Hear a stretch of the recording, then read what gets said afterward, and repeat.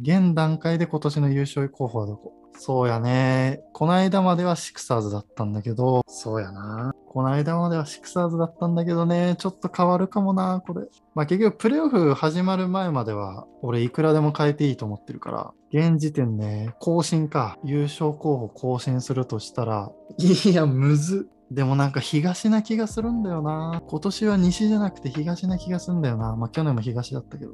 なんでシクサーズは評価をし、いやだからさっき言った、その、ハーデンはスクリーン欲してるけど、エンビードがそもそもスクリーナーになることに慣れてない。で、スクリーンしていいのかどうかもよく分かってない。今までだったら自分が攻めるタイミングでもハーデンがいるから、あれ？これ俺じゃなくてスクリーンなのかな？と思ったらハーデンがエンビードにパスして、あ、やっぱ俺で攻めるのねみたいな。そこのなんか、特に4ピリの、ラプターズ戦も4ピリ17点ぐらいしか取れてなかったけど、それで大逆転負けされてたけど、その4ピリ誰が攻めるのか問題。ハーデンが攻めたり、エンビードが攻めたり。まあ確かにそれも別に悪くないんだけど、そこ難しいよね。気持ちが入りきらないというかさ、ずっと自分自分だったら、もう多分スイッチ入れれると思うんだけど、エンビードが攻めるときある、ハリスが攻めるときある、マキシーが攻めるときある、ハーデンが攻めるときある、サイブル以外全員攻めるときある。ってなるといつ自分のこの得点取るモードに入っていいかわからなくなる問題っていうのがやっぱ大きい気もするな。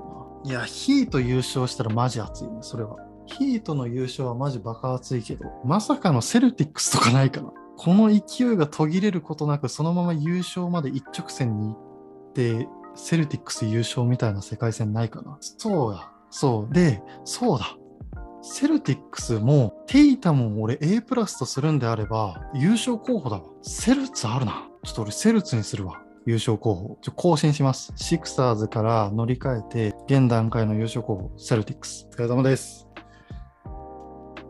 じゃあねー。